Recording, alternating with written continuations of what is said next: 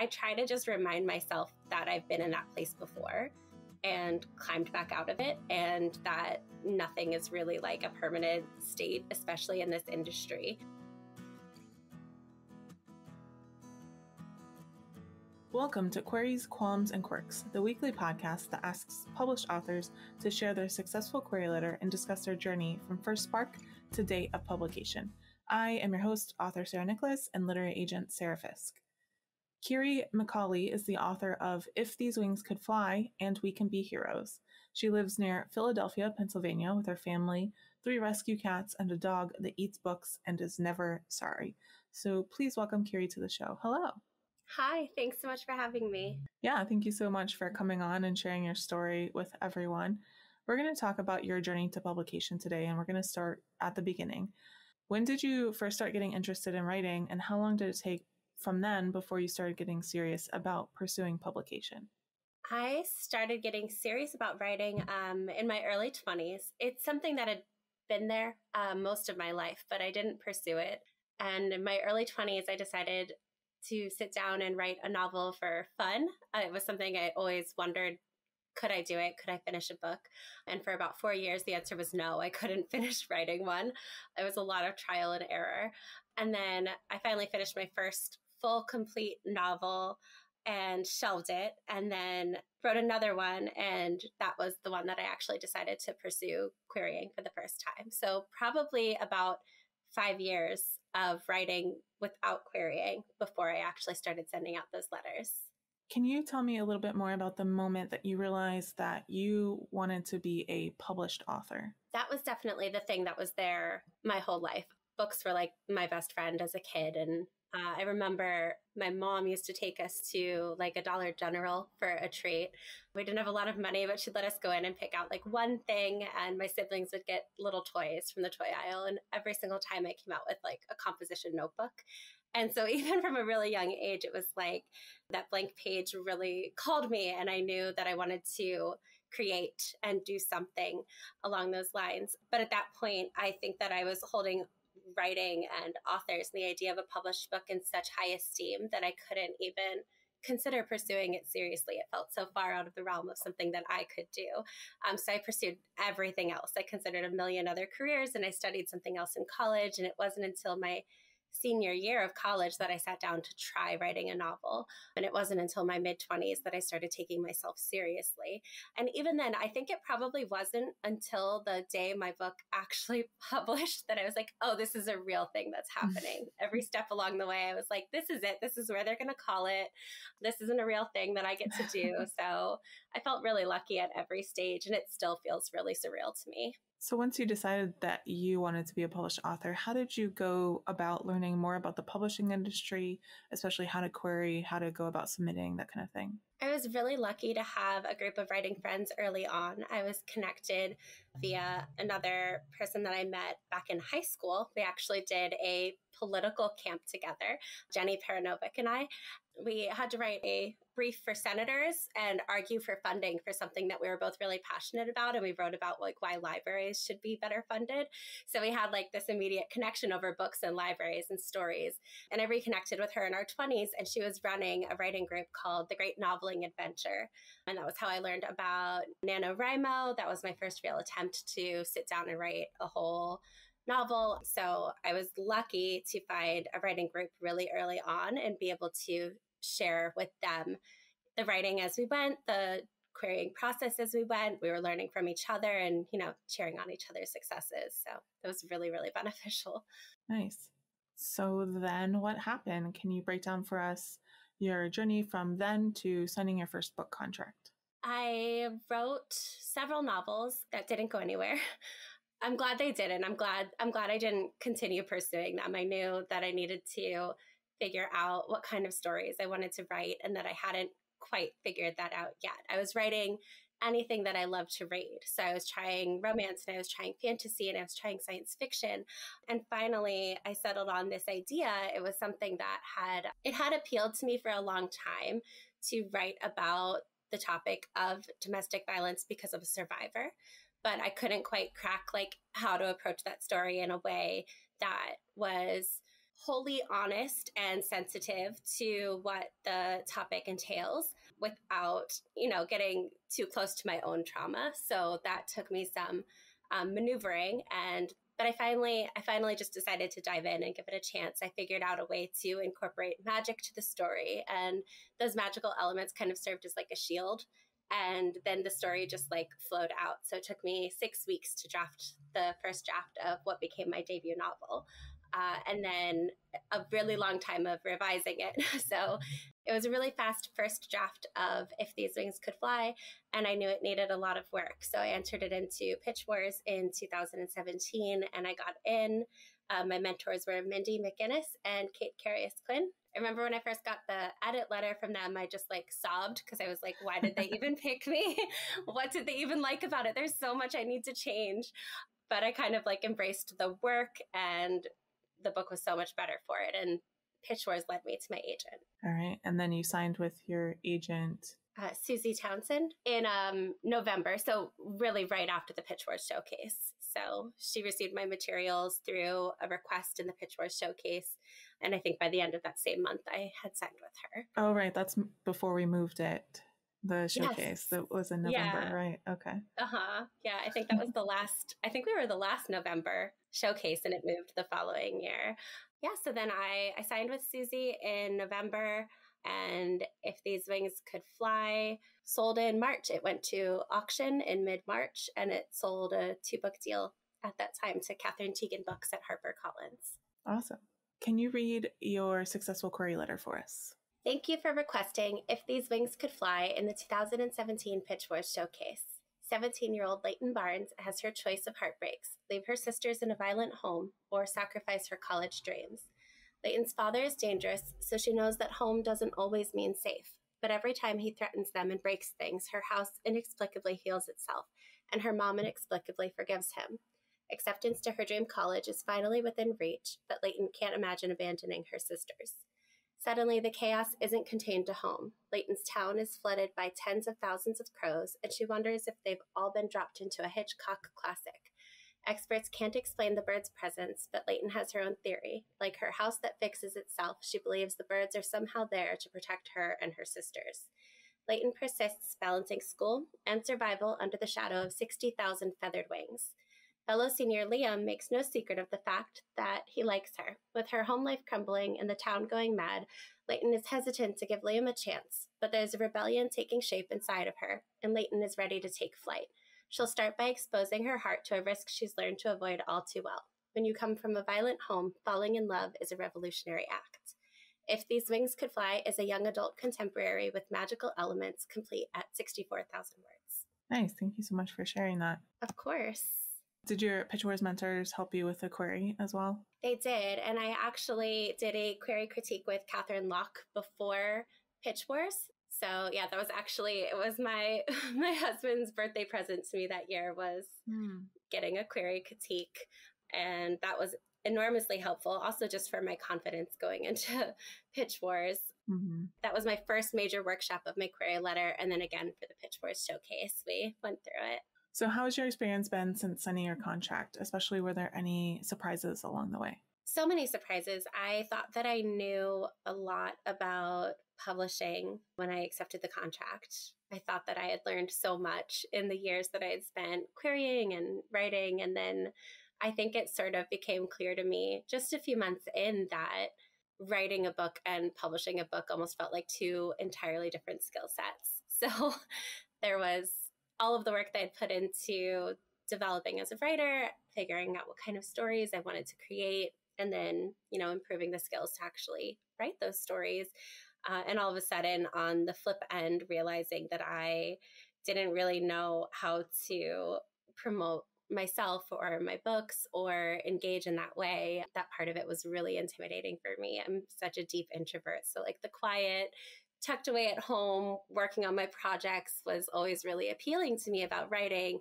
And then the other side of like the idea of my writing being out in the world, putting myself out there, talking about this topic that was really sensitive to me on all of these public formats, that part was really intimidating. So it was a surprise to me to realize how hard that part would be, as excited as I was about it, I had a huge learning curve about publishing itself.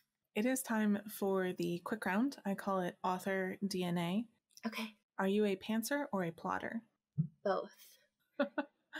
Somewhere in between. okay. As a true pantser, anytime anyone says both, I'm like, you're a plotter then. Because oh. like if you plan anything to me, you're a plotter. But Oh, that's funny. I was such a pantser forever. Um, and I just kept writing myself into terrible messes. So yeah. yeah. Now I plan a little. Do you tend to be an overwriter or an underwriter?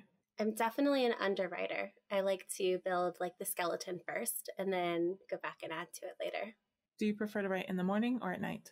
At night would be my preference, but I have small children, so usually I have to wake up before them to get my writing in. Mm. When it comes to writing a first draft, do you typically start with character or plot or concept or something else first? Concept. I think most of my stories start with like a single image or a bit of dialogue. It's just like this flash of an idea. And I play with that story until I can see if it has anything more to it. Do you prefer coffee or tea? Coffee. Whenever you're writing, do you prefer silence or some kind of sound? Sound, uh, but only white noise. I can't really listen to music or I just start singing along. So, when it comes to the first draft, are you more of a get it down kind of person or get it right? Get it down. What tools or software do you use to draft? I like to draft in Scrivener and honestly on the notes app on my phone. If I'm if I'm running around, that's usually where I tend to pull up and get ideas down in the moment. Do you prefer drafting or revising more? Revising. Do you write in sequential order or do you hop around? I hop around. I like to chase whatever scene is coming to me as it comes. Wow, I think you're actually the first person who's like truly a hop arounder. Oh, really? yeah. yeah. That's why I need Scrivener so I can jump from beginning to end. Yeah. You already answered this, but for the record, are you an extrovert or an introvert? Very much an introvert. So the show is called Queries, Qualms, and Quirks, and we're going to talk about that second Q now. What were some of the worries that you had on your journey, and were they realized, or did you overcome them, or how did they shake out? A big part of my nervousness was the topic I was writing about and how that would be received. It was really sensitive to me, and it was really personal to write about domestic violence. And then I also felt like very much the weight of writing about that topic and wanting to get it right for readers who had experienced it and also for readers who hadn't experienced it. And this might be their only insight into a home that is violent.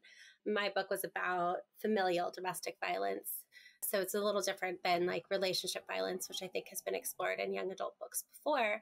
But it was just, I, I was very nervous about staying true to the depictions of that issue and making sure that they were accurate and knowing that an accurate of portrayal of domestic violence like isn't going to sit very well with everybody because it was the mom staying and mm-hmm. what was driving her staying and these big questions about the dynamics of that kind of interaction that kind of uh, relationship that people have. So I was nervous about the topic. I was nervous about putting an entire book out there that reflected some of my own experiences growing up and knowing that it would be talked about and dissected and that it would be, you know, potentially this really important source of information for young readers. So I was so scared of that. And not to say that I shouldn't have been, because I think that that fear and that nervousness made me take it as seriously as I needed to to write about it but the feedback that I've gotten, especially from young readers, has been really incredible. Um, I get a lot of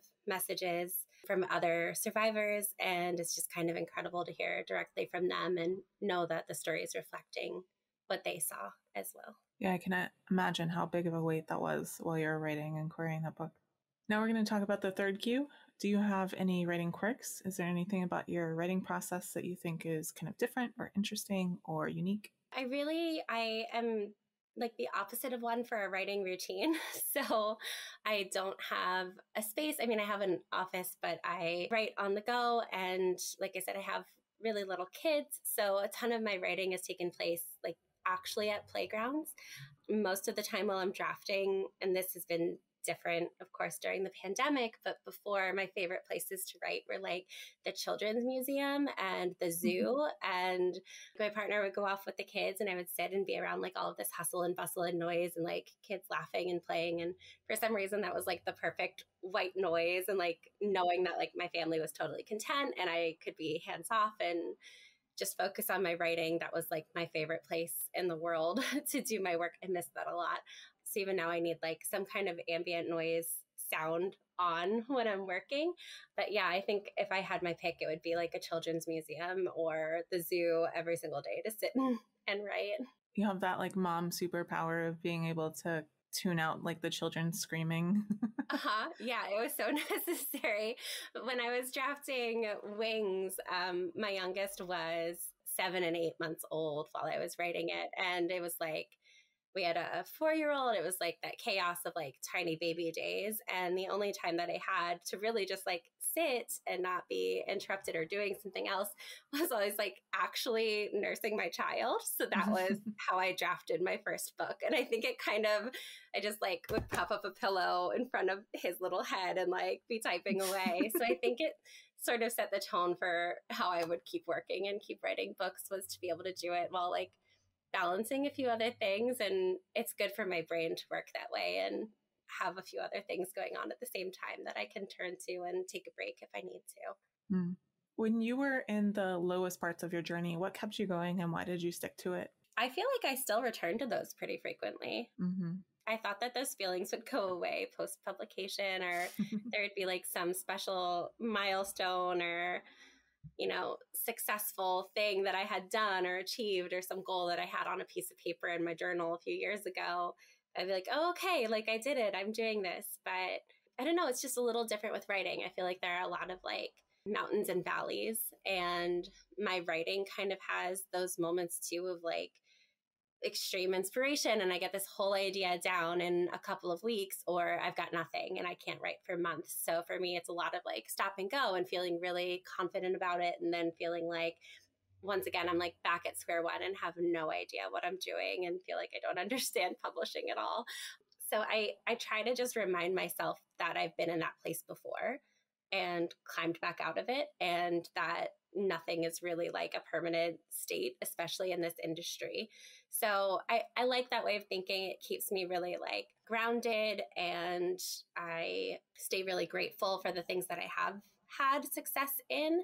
And then at the same time, I don't feel like quite so let down when I have those harder moments. And I just, I don't think that I'll ever be rid of them. I think that there's always going to be like that thing I didn't get or, you know, the, the starred review or, the blurb or whatever it is, whatever it is I'm chasing at that moment, every one of those defeats still feels pretty crushing. So I think it's just a difficult industry because you're always going to have some kind of rejection going on at every level and just figuring out how to, you know, live with that and be comfortable with that and then be able to look forward to the next the next peak that you get to climb to.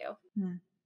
Did you make any mistakes along the way to publication that you might want to warn listeners about so they can hopefully avoid making the same mistakes? Yeah, so many probably, but a big one for me is I'm I am like a, a very anxious person.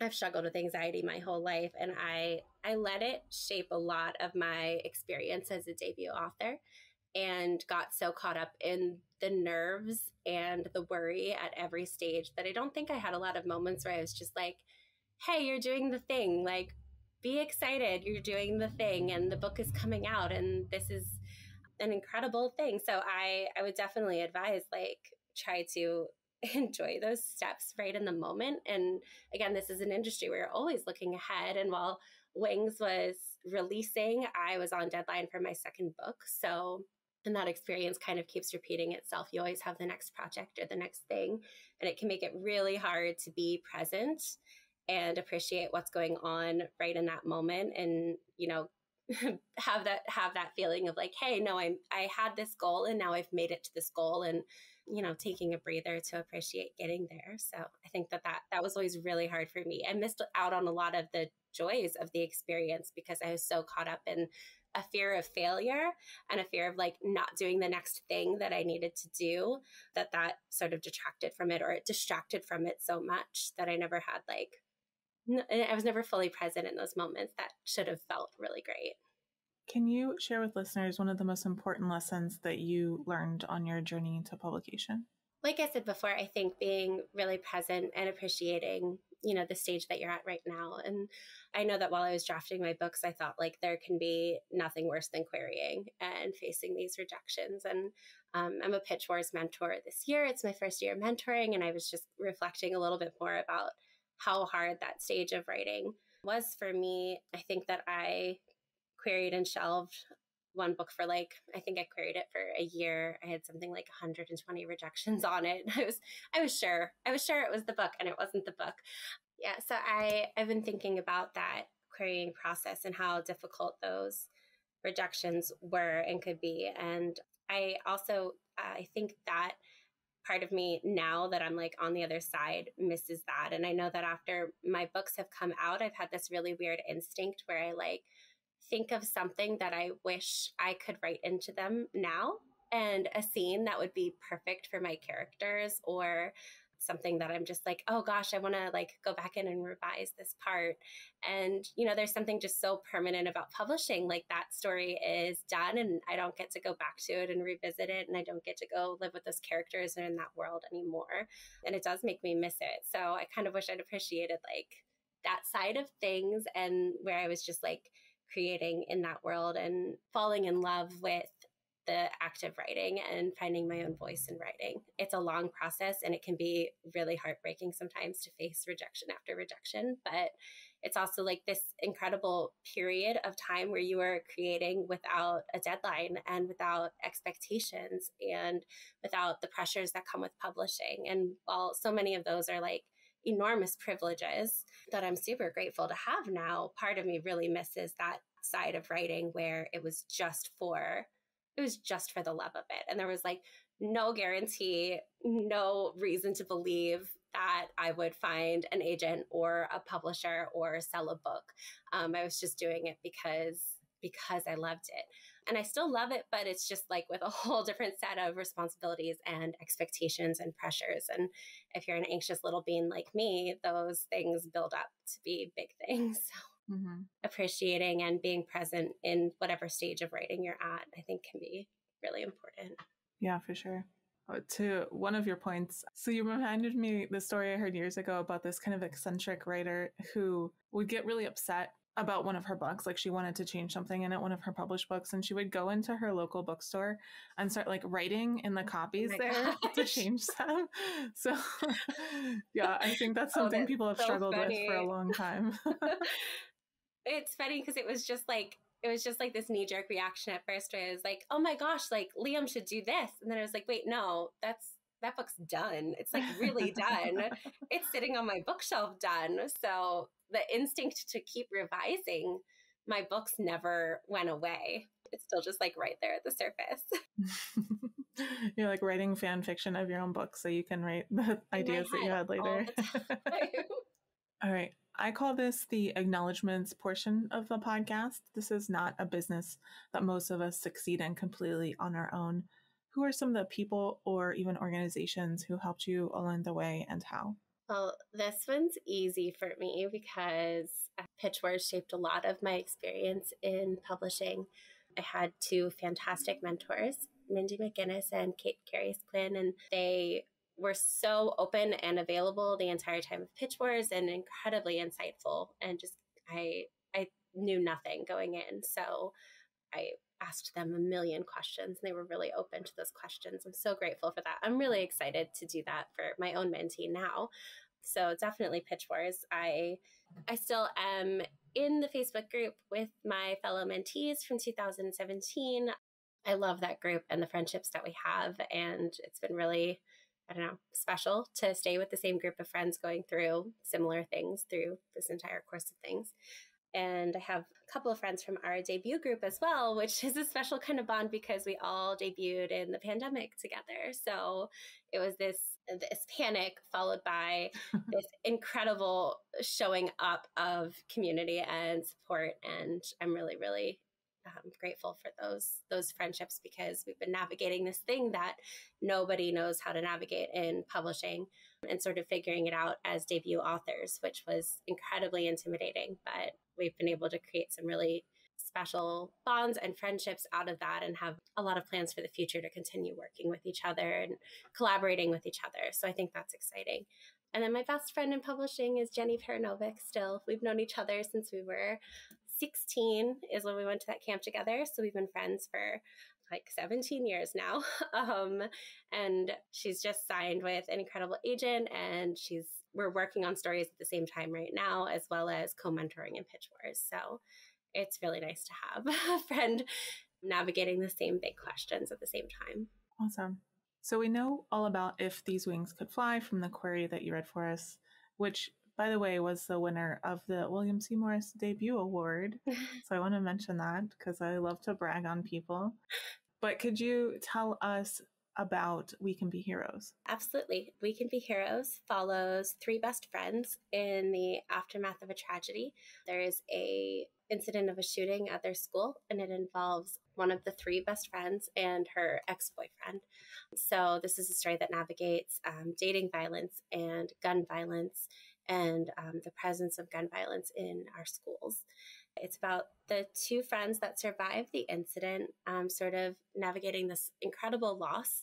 And then their friend returns to them in the form of a ghost. And the three of them together form a vengeance plan, which is essentially an awareness plan about dating violence and gun violence and sort of pushing back against how unfair it was that Cassie actually lost her life due to the inactions and the egos of some of the people in their town. Okay, Kyrie, thank you so much for coming on the show and sharing your story with everyone today. Thank you so much for having me. Thank you so much for listening to this episode of Queries, Qualms, and Quirks. You can find the text of Kyrie's query in the show notes, along with links to find out more about her and her books. If you enjoyed the show, I'd really appreciate if you'd help me find new listeners by leaving a review on Apple Podcasts or Podchaser telling your friends, or sharing this episode on social media. And if you're interested in supporting the show, you can go to patreon.com slash pubtalklive. If you're a published author interested in being a guest on the show, please click on the home base link in the description or go to sarahnicolas.com and click on the podcast logo in the sidebar.